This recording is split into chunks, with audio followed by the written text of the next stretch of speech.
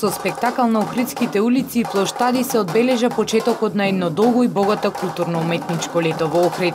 Атракција за охриѓани и туристите представуваше дефилето на перкусионистичката група Каранос од Воден Грција, чии звуци од тапаните одекнуваа низ улиците во стариот дел од градот. Ѓорџ Фотиадис, член на групата Каранос, вели дека огромна чест и задоволство им представува што се дел од манифестацијата Бело лето 2016 и што придонесува за збогатување на туристичката понуда на градот Охрид, кој е прекрасен град што секој треба да го посети.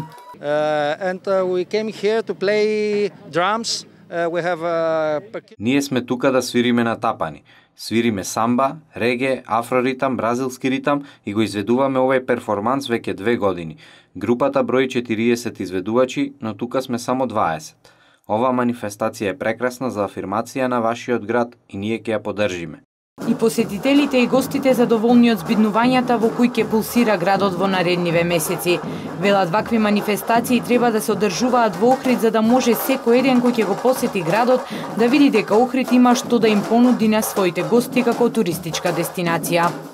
Прав начин на представување на нашата држава со нашата македонска култура, со вакви големи уметници, кои што ги има во изобилство во Македонија, но треба да најдеме ваков начин, овој правиот начин на кој што можеме да се промовираме во светот. Јако е битно затоа што многу е важно да се има вакви манифестации, дека на овој начин Македонија се отвара кон светот, што е многу важно секако и за сите во регионот.